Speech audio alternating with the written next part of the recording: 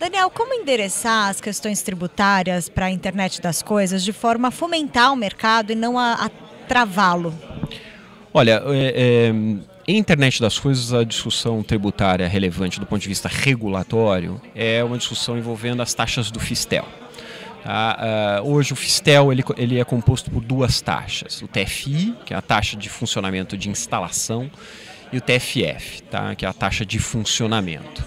Uh, essas taxas já foram desoneradas para comunicações máquina a máquina no passado, tá? de R$ 26,00 para R$ 5,00 e, e, e R$ 1,86, salvo engano, para o TFF. Tá? O TFI é, é, é, pago uma vez por ano e o TFF todos os anos. Uh, o que acontece com o IoT é que as receitas de IoT Uh, são receitas para cada dispositivo conectado, elas são da ordem de centavos. Então é inviável uh, uh, pagar uma taxa de, de Fistel neste valor. Tá? Então, uma das propostas que nós temos feito é reduzir a zero esta, esta taxa, tá? isentar uh, uh, uh, soluções de IoT desta taxa para poder fomentar o mercado de IoT. Isso foi analisado dentro do estudo contratado para o Plano Nacional de Internet das Coisas? Foi, foi sim analisado dentro do estudo.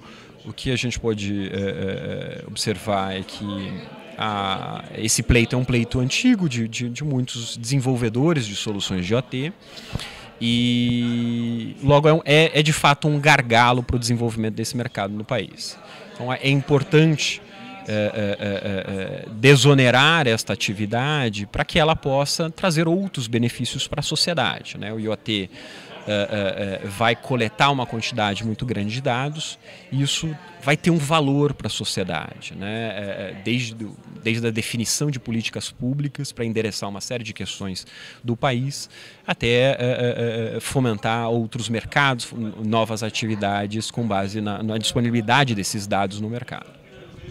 Agora que o estudo foi concluído, quais são os principais desafios para a gente ter esse Plano Nacional de Internet das Coisas e para IoT se confirmar com esse potencial todo vislumbrado?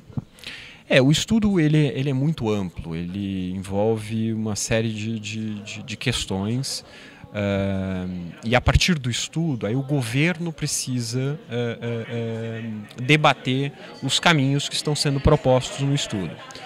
Como a gente sabe, isso leva um tempo, em regra isso leva um tempo, e, e no cenário que a gente está vivendo, de instabilidade política, crise econômica, pode ser que isso uh, uh, um, tome mais tempo do que o necessário.